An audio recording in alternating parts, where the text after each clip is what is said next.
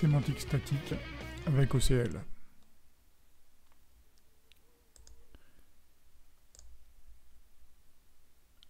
La sémantique statique, c'est la possibilité d'ajouter des informations euh, au modèle pour euh, s'assurer que le modèle qu'on va construire est bien formé. Donc euh, on va faire ça en mettant des contraintes qui vont en réalité restreindre l'espace des configurations possibles, c'est-à-dire l'espace des modèles qu'on pourra construire à partir du métamodèle. Donc euh, c'est ce qu'on appelle souvent des règles de bonne formation, euh, qui sont rien d'autre que des invariants en fait, donc ça fait partie de la notion de contrat. Si par exemple je veux exprimer qu'une procédure euh, en logo doit être appelée avec le même nombre d'arguments qu'il est spécifié dans sa déclaration, c'est quelque chose que je ne peux pas faire facilement sur le, diagramme de classe du métamodèle. D'accord? Parce que euh, essentiellement, ça revient à dire que euh, je dois avoir sur ce diagramme de classe le fait que le, nombre euh, d'arguments effectifs, c'est-à-dire le nombre d'arguments qui m'est passé, qui est le nombre d'expressions qui m'est passé à une procédure ici, là, donc ce étoile qui est présent ici, là, doit être égal à la même chose que, ce qui, que, ce étoile qui est présent ici, qui est le nombre d'arguments qui est passé euh, à la déclaration.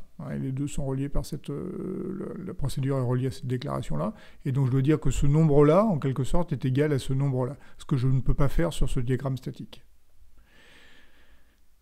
Donc, euh, l'intérêt d'un langage comme OCL, qui, veut dire Object Constraint Language, ça va être d'exprimer justement ce type de, de, contraintes qui vont devenir sur un métamodèle des règles de bonne formation pour dire que toute par exemple, tout modèle dans lequel le nombre de, paramètres passés à une procédure n'est pas le même que celui de sa déclaration devra être invalide et l'expression OCL va nous permettre de, déclarer, de, spécifier ce genre de choses.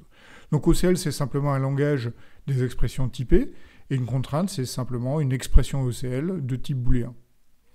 Et donc cette contrainte euh, permet d'amener une restriction sur des, valeurs d'un modèle euh, orienté objet ou d'un système orienté objet. Donc euh, ça rejoint tout à fait la notion de contrat qu'on trouve dans les langages orientés objets. Hein, c'est inspiré de la notion de type abstrait de données, où on peut spécifier ce que fait un type de données, c'est-à-dire une classe, indépendamment de comment il le fait.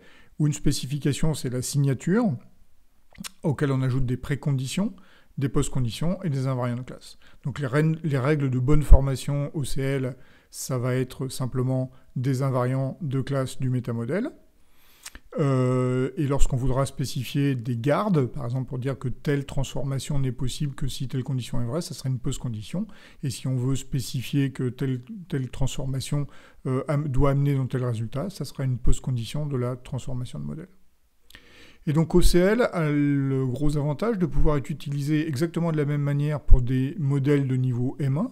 Et donc là, c'est des modèles UML, par exemple sur un compte en banque, on va pouvoir avoir, ou une personne, on va pouvoir avoir des contraintes qui vont dire un certain nombre de choses, que le solde doit toujours être supérieur à une certaine valeur, etc.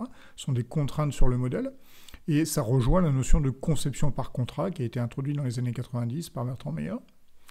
Mais comme euh, finalement les métamodèles, c'est rien d'autre qu'un sous-ensemble des diagrammes de classe, et eh ben on peut utiliser ce langage OCL pour définir euh, des contraintes sur les métamodèles, il y a des règles de bonne formation, aussi appelées la sémantique statique, euh, euh, du, langage qui nous intéresse, logo en l'occurrence ici. Et euh, en réalité, OCL a été construit d'abord, historiquement, pour faire des contraintes sur les métamodèles, puis ensuite utilisé sur les modèles.